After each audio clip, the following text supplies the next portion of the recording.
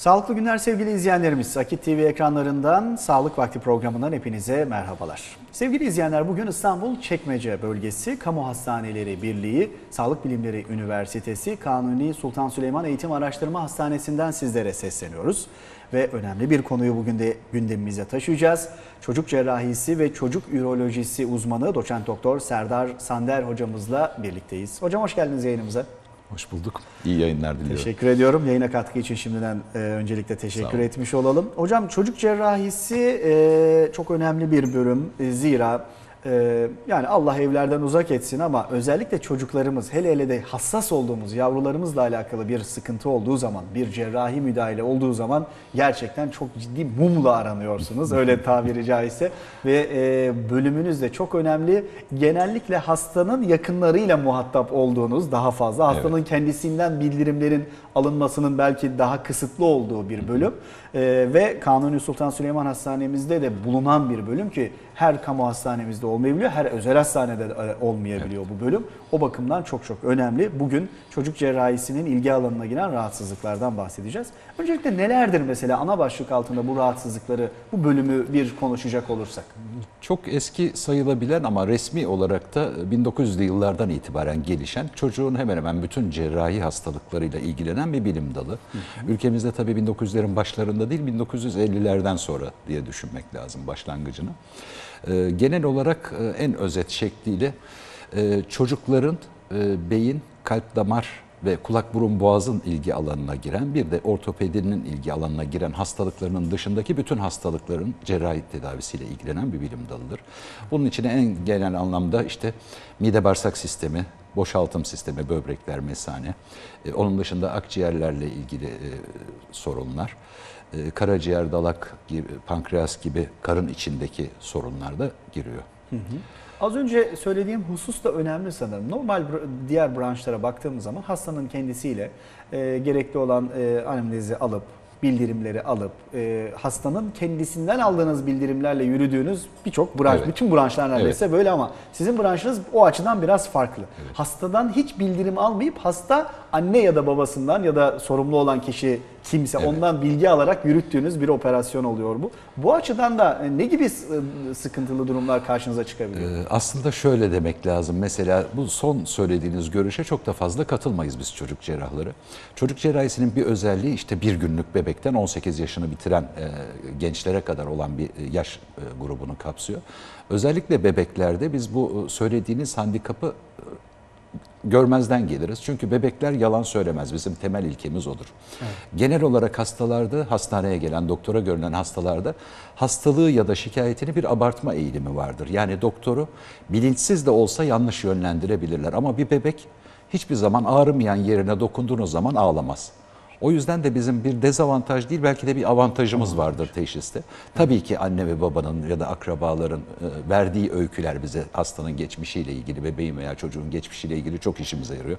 Tabii ki çeşitli tetkikler var, kan idrarı, radyolojik tetkikleri. Ama onun dışında da bizim hala birçok çok hastalıkta direkt muayeneyle tanı koyduğumuz e, olmaktadır. olmakta. Ee, hocam özellikle polikliniğinize gelen e, ve e, birçok çok nadir vakayla da karşı karşıya kalıyorsunuz. Zira az önce de belirttiğim gibi Kanuni Sultan Süleyman Eğitim Araştırma Hastanemiz çok geniş e, imkanları olan ve çok geniş bir nüfusa da e, hizmet veren bir hastanemiz. E, ve çok ilginç vakalarla birlikte e, özellikle çocuk cerrahisinin ilgi alanına giren şu anda da ekranları başında bu rahatsızlıkları yaşayabilen ya da yaşamak durumunda kalan e, izleyenlerimize bilgi vermek aç- açısından birkaç rahatsızlığı sormak istiyorum. Bunları irdeleyelim inşallah. E, idrarın e, mesaneden böbreğe kaçması rahatsızlığı Evet. belki halk arasında böbrek reflüsü gibi de Evet, düşünülebilir doğru isim verecek olursak. E, bir rahatsızlık. Evet. Nasıl bir rahatsızlıktır? Hangi dönemlerde görülebilir? Ee, şöyle aslında en genel anlamıyla e, çocuklarda veya bebeklerde tabii ki idrar yolu enfeksiyonları dediğimiz yani e, idrarın e, mikroplarla bulaşmış hale gelmesi ve ona bağlı hastalıklar. Zaten bu böbreğe geri kaçma ya da veziko-üreteral reflü dediğimiz olay kendini çoğu zaman ya anne karnında çekilen ultrasonlarda böbrekte bir bozukluk olmasıyla gösterir ya da daha sık olarak da idrar yolu iltihaplarıyla çocuklar polikliniğe getirilirler. Bu e, çok önemli bir hastalıktır ve de en sık görülen hani böbrek ve toplayıcı sistemin hastalıkları arasında en sık görülen hastalıktır. Önemi de şuradan kaynaklanmaktadır. Eğer tedavisiz kalırsa ve takipsiz kalırsa ya da tanıda gecikilirse böbrek yetersizliğine gider. Yani ülkemizde mesela erişkin yaşta diyalize giren hastaların neredeyse yüzde 60'ı 70'i e, zamanında tanı konamamış bu reflü hastalığına bağlı olarak e, hastalanmış oluyorlar. Yani o aşamaya kadar ilerlemiş oluyorlar. Bizim de e, çocuk cerrahisinde ya da çocuk ürolojisinde de başlangıç e, noktamız daima idrar yolu iltihaplanması. Üriner enfeksiyonu Yani şunu dediğimiz. söyleyebilir miyiz? Eğer çocuklarında fazlaca bir idrar yolu enfeksiyonu Evet, görülüyorsa evet, evet. e, bir defa bir teyakkuz haline geçsin. Mutlaka, mutlaka bir kere uyanık olacaklar. Ama eskiden de olsa şimdi yeni uygulamada da hala çok fazla özellikle ülkemiz için geçerli olduğunu kabul etmemiz gereken bir şey var. Ee, mesela kız çocukları biraz daha fazla idrar yolu iltihaplanmasına yatkındır. Diyelim kız çocuklarında e, bir yıl içinde birden fazla iki e, iltihaplanma atağı geçirdiğinde hemen bütün böbreklerin elden geçirilmesi. Erkek çocuklarında biraz daha az iltihaplanma görüldüğü için erkek çocuklarında bir kerede bile yani ilk idrar yolu iltihaplanmasında bile mutlaka böbreklerin araştırılması önerilir. Biz de genelde kendi kliniğimizde bu ilkeyi uyguluyoruz. Yani bir yıl içinde e, bir kız çocuğu iki kere iltihaplanma geçirdiyse mutlaka bütün böbreklerini, mesanesini elden geçiriyoruz. Tabii ki e, radyolojik olarak ultrasonla başlayan sonra çeşitli filmlerle devam eden bir süreç vardır. Erkek çocuklarında da yine aynı şekilde ilk kez idrar yolu iltihaplanması varsa en azından bir ultrason. Kız için de erkek için de ilk atılacak adım en basiti. Herhangi bir ışın vesaire olmadığı için ultrasonla bir böbreklerin araştırılması. Bir parantez açalım hocam. İdrar yolu enf- e, enfeksiyonu yaşayan bir çocukta ne gibi durumlar gözüküyor? Ee, bebek yaş grubunda farklı. Bebek yaş grubunda genel olarak işte emmiyor, kusması oluyor, ateşleniyor ve huzursuzluk şeklinde. Daha büyüklerde tabii ki bayağı bildiğiniz herhangi bir şekilde mesela bir e, bademcik iltihabı olan çocuktan çok da farklı değil.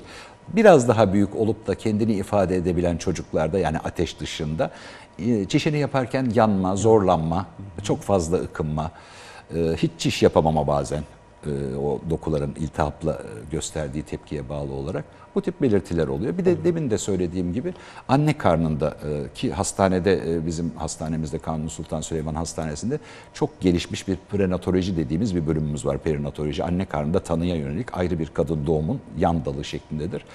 E, orada da bize yansıyan çok sayıda yeni doğan hastamız oluyor. Onlarda da anne karnında böbreklerde genişleme. Yani orada bir reflü olması ya da iltihap saptanması söz konusu değil ama anne karnındaki bebekte böbreklerde işte idrar borularında ya da idrar torbasında normalden farklı bir bulgu varsa zaten biz hemen ilk 24 saat içinde cerrahi ekip olarak işte nefroloji ekibi olarak yani böbreğin dahili hastalıkları çocuk hastalıkları yine aynı bünyede hep birlikte bebekle tetkiklerine başlıyoruz. Mesela anne karnında müdahale etmek mümkün oluyor mu hocam? Anne karnında müdahale mümkün. Ülkemizde de başlayan bir şeydir. Böbrek hastalıklarında genelde drenaj dediğimiz yani e, böbrek veya böbrek sisteminde bütün idrar yollarında daha doğrusu bir yerde bir genişleme saptandığında drenaj dediğimiz boşaltma işlemi. Yani düzeltici çok sayıda ameliyat vardır bizim yapmakta olduğumuz ama anne karnında düzeltici ameliyattan çok bir tıkanmaya bağlı olduğunu varsayılır büyük e, genişlemiş olan böbrek veya mesanenin. O tıkanmanın anne karnında giderilmesi. Yani bebek e, doğmadan e, daha ultrason eşliğinde gerekirse MR eşliğinde olabiliyor. Diren dediğimiz minicik borucukların işte mesanesi eğer boşalmıyorsa mesanesine konması. Böbrekleri boşalmıyorsa böbreklerine yerleştirilerek o basıncın ortadan kaldırılması. Doğduktan sonra asıl kalıcı ameliyatların yapılması şeklinde. Ülkemizde de çok eski olmamakla birlikte geçmişi yeni de olsa uygulanmaya başlayan bir şeydir. Ki önemli zira Tabii, çocuk doğduğu zaman en Tabii. azından bir böbrek harabiyetine sebebiyet Tabii ki. vermeden tabii ki. oluyor. Çünkü bu saydığım hastalıkların bir bölümü öyle e, ciddi tıkanıklıklar vardır ki doğduğunda artık böbrek kis şeklindedir. Yani cerrahi olarak da yapılabilecek bir şey yoktur. Ama bu tip girişimler bunları önlüyor. En azından çalışan bir böbrekle sapa sağlam olmasa bile çalışan bir böbrekle doğuyor ve düzeltilmesi mümkündür Düzeltilmesi zaten. mümkün olur. Peki hocam, e, bebeğimizde bir e, işte böbrek reflüsü dediğimiz rahatsızlık teşhisi kondu. Evet. Yapılan e, müdahaleler sonucunda böyle bir rahatsızlığın olduğunun adı konmuş oldu. Süreç nasıl işliyor? Nasıl bir tedavisi var? Ee, Süreç ilk olarak e, bir kere e, böbrek reflüsü dediğimiz olayın e, dereceleri vardır. Birden beşe kadar sınıflandırılan bu e, radyolojik olarak e, opak e, maddeler verilerek böbrekleri gösteren filmlerdir. Mesaneye madde verilir. Hem mesane hem böbrekler görünür hale getirilir reflü olduğu takdirde. E, Birden beşe kadar sıralanan dereceler vardır. Bütün dünyada ortak kullandırılan bir sınıflandırma sistemi çerçevesinde. Genel olarak e, hangi derecede olursa olsun bir böbrek reflüsü saptandığında yani birinci derecede de olsa, beşinci derecede de olsa acil ameliyat gereği çok çok istisnai bir durumdur. Mutlaka belli ölçüde gereken daha ileri tetkikleri yapmak ve hastayı takip etmek için e, geçebilecek bir yeterli süre vardır. Çok acil girişim ancak işte dördüncü ve beşinci derecede olan reflülarda olur. Bu da ancak iki taraflı olduğunda çocukta bebekte böbrek yetersizliği varsa Demin söylediğim hani o tıkanmış gibi drenaj işlemleri gerekebilir. Çok çok erken bir düzeltici ameliyat genelde önerilmez. Çünkü daha gelişmekte olan bir sistemle muhatabız. Yani en basit şekliyle bir yeri kesip diktiğiniz zaman eğer dokular iki farklı dokuyu bir araya getirdiğinizde biri farklı, diğeri daha diyelim biri yavaş, biri hızlı gelişiyorsa yaptığınız dikişlerde sorun olur, iyileşme sürecinde. O yüzden de hemen ameliyat değil ama takip daima. Yani bir özellikle de hani çocuk cerrahisinin ürolojisinin takibinin dışında çocuk nefrolojisi dediğimiz bir şey. Ee, Bir ayrı bir bilim dalıdır. Çocuk hastalıklarından sonra ayrıca uzmanlaşılan onların takibi. Ve bu takip süresinin ne kadar olduğu da çok kesin değildir, tartışmalıdır, çok değişebilir. Ama asıl kararı veren yani bize hastaları yollayan artık bunlarda bir girişim gerekiyor diyen bölüm çocuk nefrolojisi bölümüdür. Çünkü o takipte işte e, en başta idrar yolu iltihabı sıklığı takip altındayken koruyucu antibiyotik kullanılır o süreç içerisinde. Bazen özel bir takım ilaçlar kullanılır. Mesanedeki sinir kas koordinasyonunu sağlayıcı ilaçlar kullanılır. Ama bu takip süresi içinde karşılaşılan tabloların sıklığına bağlı veya ağırlığına bağlı olmak üzere cerrahi girişim kararı aslında nefroloji ile cerrahinin ortak toplantısında alınır. O şekildedir. Peki hocam e, cerrahi müdahale kararı alındığını buradan varsayarak devam edin. Nasıl bir ameliyattır? Ağır bir ameliyat mıdır? Ee, Şimdi ameliyatın normalde bizim çocuk cerrahları arasında bir kere e, hafifi şeyi yoktur, Yok. ağrı yoktur. Ciddi bir ameliyattır çünkü yeniden düzeltici bir ameliyattır. Bazı şeyleri yeniden organize edersiniz. İnceliği olan bir ameliyattır. Ama olayı şöyle de görmek lazım. Mesela karaciğerinde kanser olan bir hastanın geçireceği ameliyatta hayati tehlike vardır. Vezikoureter reflünün ameliyatında böyle bir tehlike yoktur. Hani o şekilde karşılaştırmak açısından söylüyorum. Ameliyat derken de tabii ki ameliyat öncesi de bir adım seçeneğimiz var. Bir e, ilk seçeneğimiz işte nefroloji tarafından uygulanan e, ilaç tedavisiyle gözlem. Ondan sonra karar verildiyse girişim kararı o yüzden hani ameliyat değil de girişim olarak değerlendirmek istiyorum.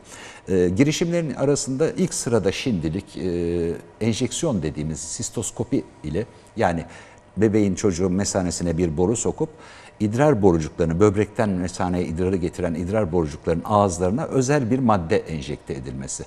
Yani kalçadan iğne yapar gibi mesanenin içinde iğne yapmak. Ee, buna subüreterik enjeksiyon deniyor tıpçası ama Türkçesi de işte e, sadece enjeksiyon yapılması da olabilir sistoskopik. Bunda herhangi bir yerin kesilmesi vesaire söz konusu değil. Direkt dışarıdan idrar borusundan giriliyor ve enjeksiyon yapılıyor. Etkinliği Yine reflünün derecesine göre bu geri kaçmanın derecesine göre genelde 1 ile 3 arasında hemen hemen yüzde yüzdür. Ama 4 ve 5'lerde bazen zaman kazanmak için de yapabiliriz. Çocuğun başka hastalıkları vardır. Biz direkt bir ameliyatla araya girmektense diyelim bir doğumsal kalp hastalığı vardır. Onun için ameliyat edecektir. O ara basit bir enjeksiyon yapıp diyelim 5. dereceden olan bir reflüyü 3. dereceye düşürme şansımız da oluyor. Evet. Ameliyat eninde sonunda gerekebilir ama o diğer hastalığının Süre tedavisi kazanmış için vakit kazanma. Bununla eğer tedavi olmuyorsa veya direkt artık hani sistoskopi için uygun değilse, enjeksiyon için uygun değilse hasta yapılan e, ameliyat teknikleri vardır standart dünyanın her yerinde. Genelde mesanenin içinden ya da dışından yapılan ameliyatlar vardır değişik atlarla alınan. Ama idrar borusu mesaneden ayrılır. E, normalden daha geniş ve gevşektir o borunun mesaneye bağlandığı yer. O daraltılır. Bir de mesane kası içinde bir tünel hazırlanır. O da e, idrar borusunu arkadan destekleyerek mesaneye dolan idrarın yukarıya geri kaçmasını önler mesanede olduğunda. Temeli budur ameliyatların. budur. Dediğim gibi hayati değildir, hayati tehlike olan ameliyatlar değildir. Ama ciddi ve inceliği olan ameliyatlar. Yapılan kesiler hocam e, ne kadar oluyor? Hastanın iyileşmesi robot sistemiyle yapılabilen bir ameliyat mıdır? Robot sistemiyle yapmayı deneyenler var. Ee, ama e, şöyle söyleyeyim mesela bizim kliniğimiz için konuşursak %99 onda 8'dir bizim başarı oranımız. Yani e, Çok, çok çok yüksek bir orandır bu evet. söylediğim ameliyatta. Biz genelde mesane içinden değil mesane dışından yapılan bir e, ameliyatı tercih ediyoruz teknik olarak. Robotik de yapılır, laparoskopik de yapılabilir ama bu kes e, bu yüzdelere henüz onlar ulaşmadı. Onlar Daha çok başlangıç halinde olan. Kesi olarak da e, tek taraflı bir reflüde basit e, Hani bir kasık fıtığı ameliyatından biraz daha uzun bir kesiyle yapılır. İki taraflı yapacağınız zaman e, e, belki de e, seyirciler bilirler. E, kadın doğumda sezeryan yapılan bir kesi vardır. Hani e, iç çamaşırının altında kalan bir kesi. O aynı kesiyle yapılır iki taraflı yapılanlarda. yapıldığında. Veya mesane içinde Evet, ameliyat şimdi yapılacaksa. Bedenin ön yüzünden mi Ön yüz tabii ki. Sırt üstü yatan bir hastadan bahsediyorum. Yani o yüzden de hani bir kesiyle ilgili estetik sorunlar pek Olmuyor. olmaz. Genelde Peki iç hocam, çamaşırının altındadır olay. Ameliyatı olan çocuk daha sonrasında hayatını devam ettirirken normal çocuklardan farklı bir şeyler yapması gerekiyor mu? Dikkat etmesi gerekli olan Hayır normal yani mesela spor yapıyorsa yine yapacak. Yani o konularda en ufak bir hareketli aktiviteyle ilgili herhangi bir kısıtlama yoktur. Ama e, kural olarak e, ameliyattan sonra 10. yılda biz takibi bırakırız. 10 yıl takip 10 ediyor. yıl takip ederiz. Bu bizim biraz da kliniğimizin kendi kararıdır. Ama hani dünyada yayınlanan yazılara göre hiçbir sorunu olmayan hastada işte 7. ya da 8. yılda darlık olabiliyor veya bir tarafı ameliyat ettiğinizde öbür tarafta reflü çıkabiliyor.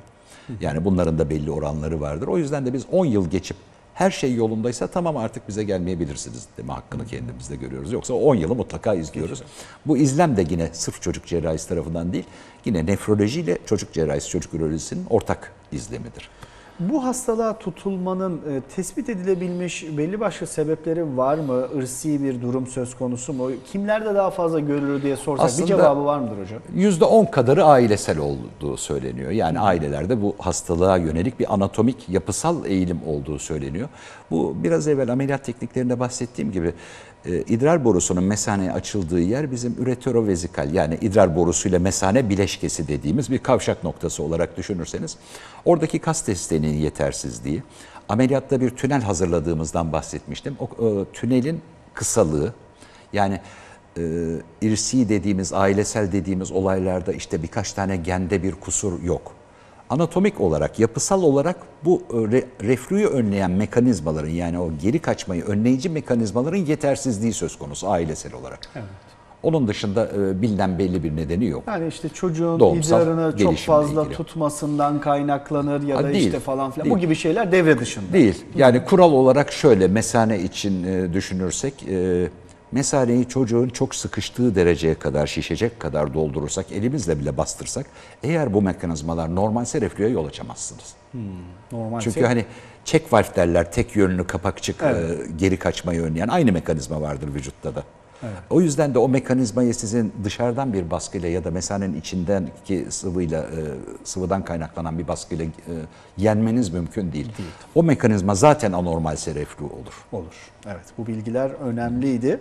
Ee, sevgili izleyenlerimiz e, halk arasında böbrekte görülebilen reflüyü özellikle çocuklarda. Hocam bu yetişkinlerde Tabii ki. görülüyor mu? Tabii ki yetişkinlerde de. Yetişkinlerde de görülebiliyor. Çünkü demek ki hayatının yani illa ilk safhasında yaşanmıyor bu Tabii ki. rahatsızlık. tabii Daha ki, sonradan tabii da ki. gelişiyor. Her yaşta olabilecek bir şeydir.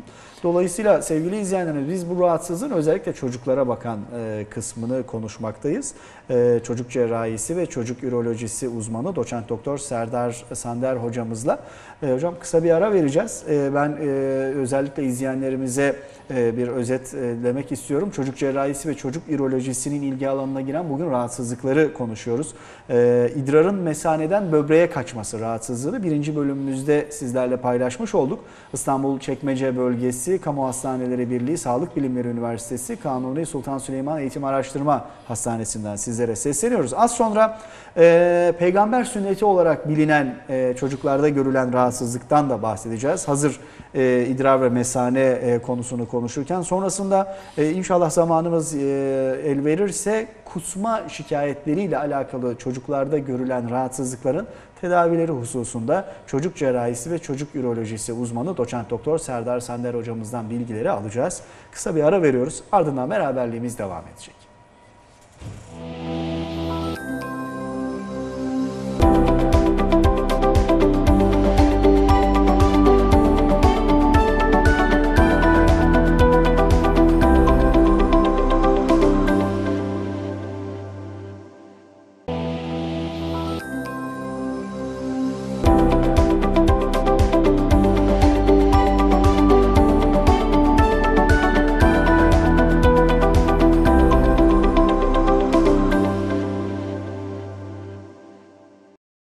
Sevgili izleyenlerimiz Akit TV ekranlarında Sağlık Vakti programında beraberliğimiz devam ediyor. Bugün İstanbul Çekmece bölgesindeyiz. Kamu Hastaneleri Birliği, Sağlık Bilimleri Üniversitesi, Kanuni Sultan Süleyman Eğitim Araştırma Hastanesi'nden sizlere sesleniyoruz.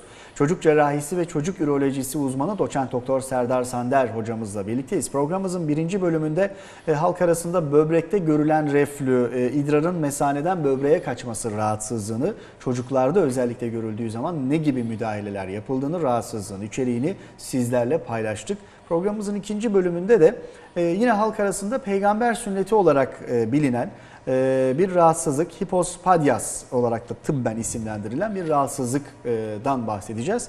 Hocam e, özellikle sıkça görülüyor diyebilir miyiz? Çünkü çok konuşuluyor. Çok sık görülen Demek ki sık görülüyor. Evet, çok sık Nasıl görülen bir doğumsal bir anomalidir.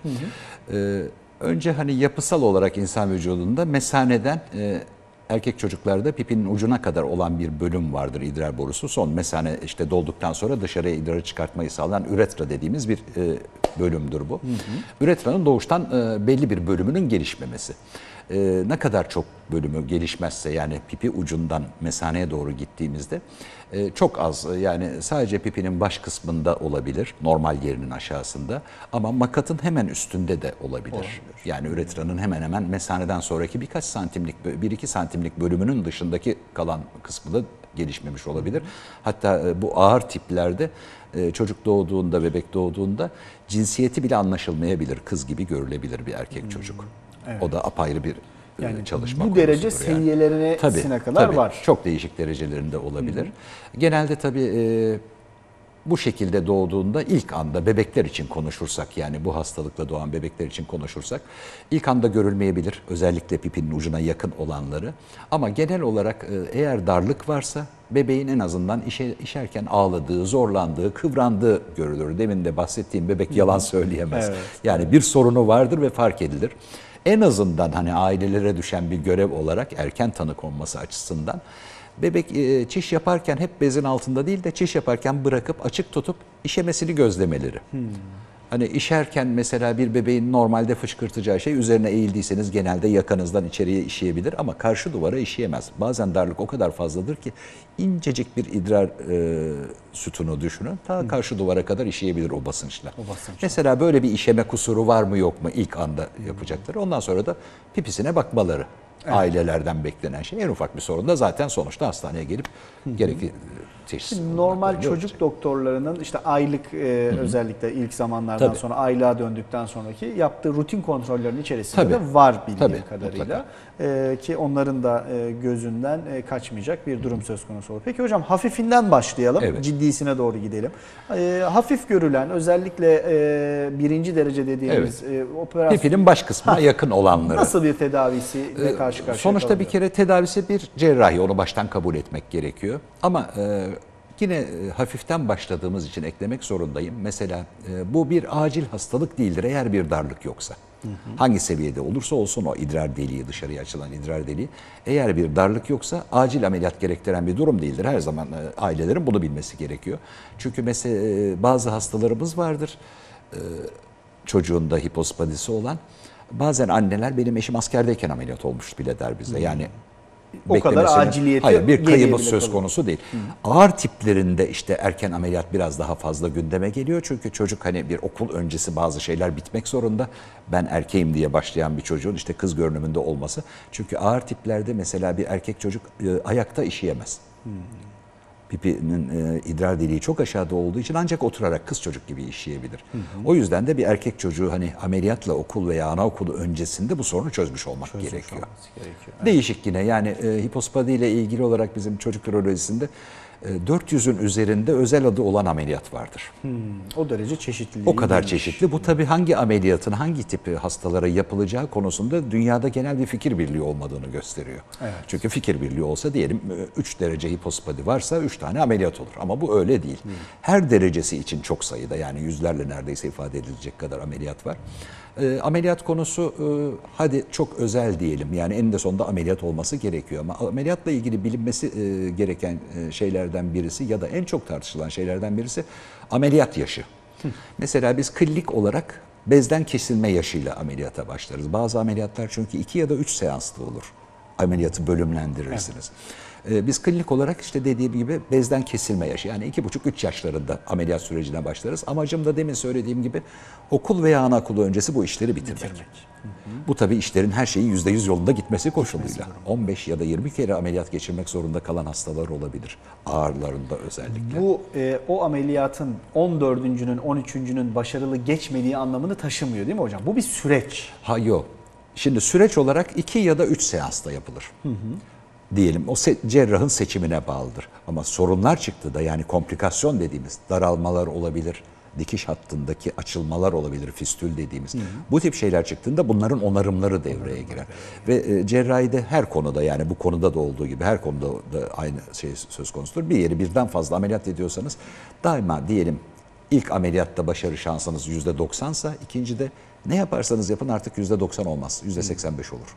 Gibi. Evet. Bu Bu şekilde de yani önemli. e, işler yolunda gitmediği zaman gereksiz diyemeyeceğim çünkü zaten gerekli hani sorunları e, düzeltmeye yönelik işler yapıyorsunuz ama çok sayıda ameliyat olması gereken ama sonuçta düzelir, hasta. Önemli olan onu bilmesi herhalde. Bu, bu önemli çünkü Tabii, tabii. ailelerin bu süreçleri Yani bir pipi kaybı söz konusu değil en azından onu bilmek Onu gerekiyor. söyleyecektim. Çünkü bazen özellikle sıkıntısı fazla derecesi yüksek olan ailelerde ya bu sonuçta yılları da Tabii, alan bir tabii. tedavi oluyor ve Tabii. bir bezginlik durumu, Tabii. bir umutsuzluk Tabii. durumu oluyor. Bu verdiğiniz bilgi çok önemli. Eninde sonunda bir başarıya ulaşılıyor. tabii.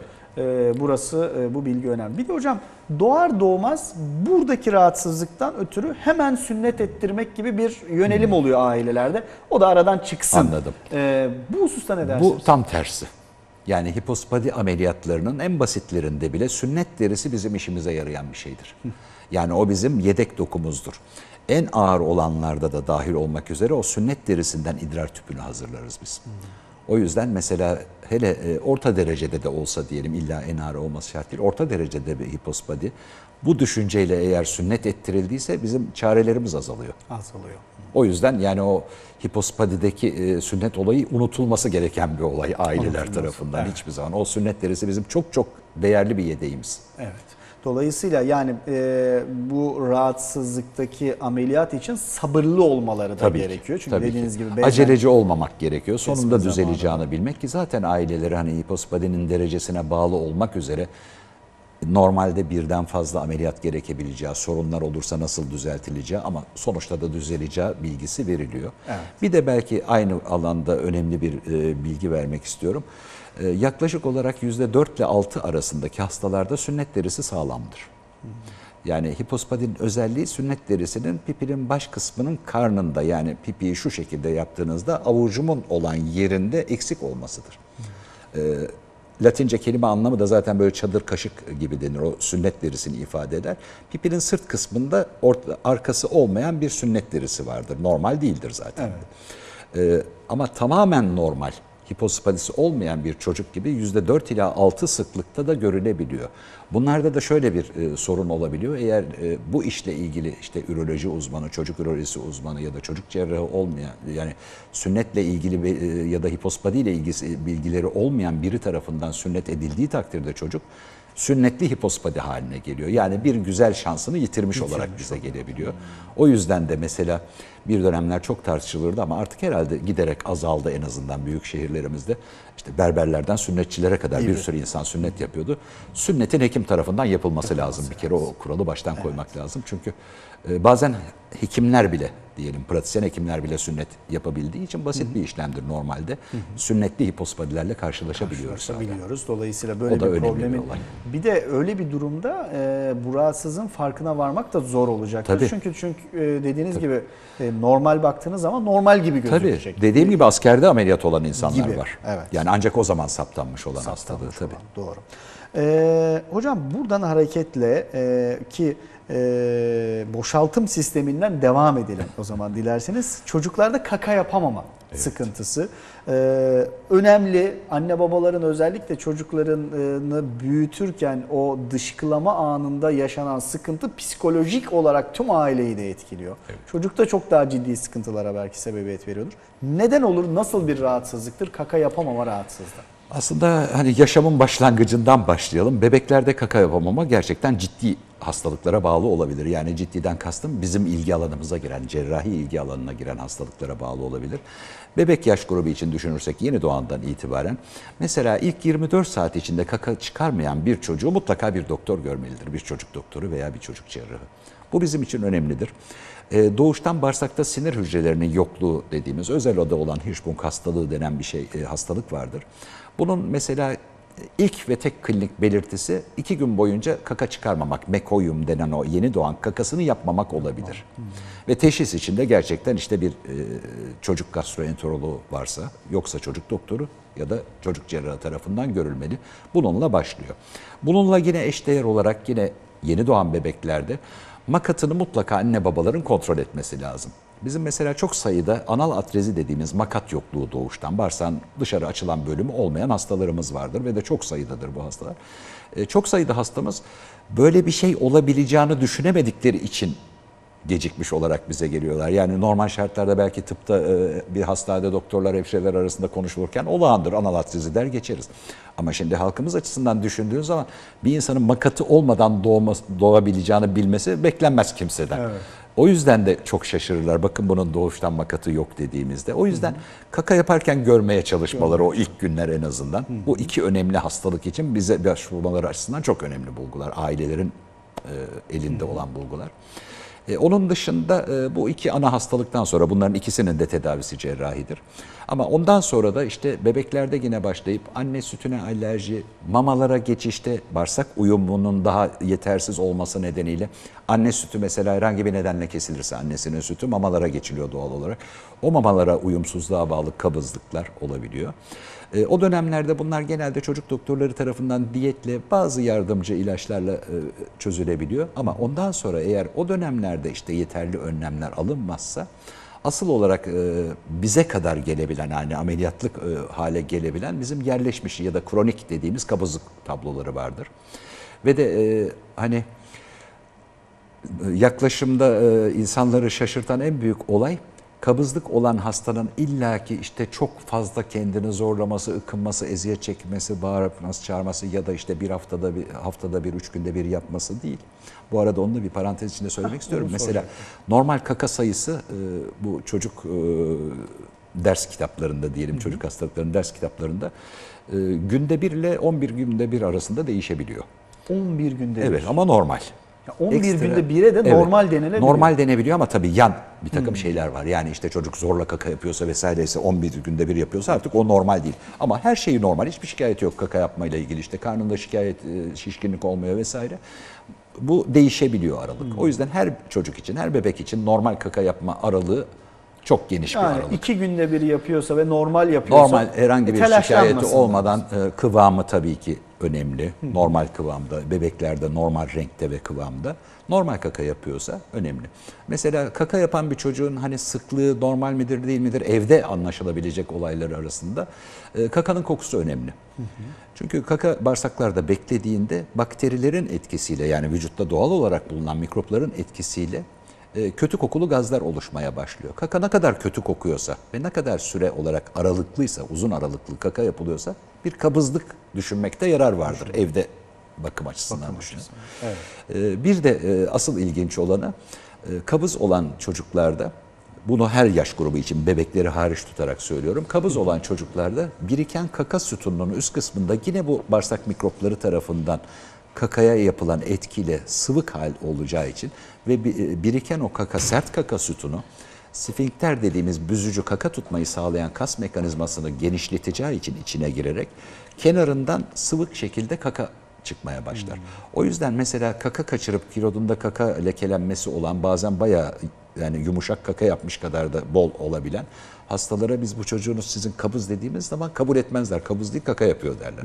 Halbuki bu da bir mekanizmadır. Kabızlığı gösteren mekanizmadır. Yani o yüzden kakasını söylemeye başlamış, bezden kurtulmuş bir çocukta e, kilodunda her zaman kaka lekesi görülüyorsa bir kabızlık söz konusudur. Mutlaka ilgili bölüme gidilmeli. Çocuk gastroenterolojisi olabilir, en yakındaki çocuk doktoru olabilir veya çocuk cerrahisi. Biz biraz son adımımız. Yani kabızlıklarda çocuk cerrahisinin e, işi yüzde iki. Ondan önce %98'i %98'i cerrahi müdahaleye gerek kalmadan, Kalmadan. diyetle ve çeşitli ilaçlarla düzeliyor. %2'si de benim demin saydığım işte o sinir hücreleri yokluğu olabilir ya da işte anal atrezi olabilir, makat yokluğu. Son bir dakika olduğunu arkadaşlarımız uyarıyorlar. Son olarak hocam tedavisi ağır mıdır? Bu size gelen %2'leri. Evet, evet. Yani e, makat yokluğunda e, işte bağırsağı dışarı ağızlaştırma yapmanıza ya da yapmamanıza bağlı olmak üzere bazılarında yapılmıyor. En az 3 ameliyattır.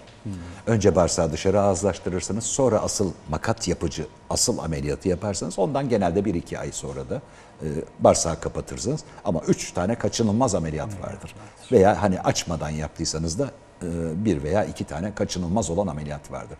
Ha, ondan sonra yaşam boyunca da kaka yönünden takip gerekir. gerekir. Evet. Hocam vermiş olduğunuz bilgiler için çok çok teşekkür ediyoruz. Ben de teşekkür Önemli ederim. bilgilerde. Değerli dinleyen izleyenlerimiz İstanbul Çekmece Bölgesi Kamu Hastaneleri Birliği Sağlık Bilimleri Üniversitesi Kanuni Sultan Süleyman Eğitim Araştırma Hastanesi'nden bugün sizlere seslendik. Çocuk cerrahisi ve çocuk ürolojisi uzmanı doçent doktor Serdar Sander hocamızla birlikteydik ve bize ayrılan sürenin de sonuna gelmiş olduk. Bir başka programımızda tekrar karşınızda olmak ümidiyle. Hoşçakalınız.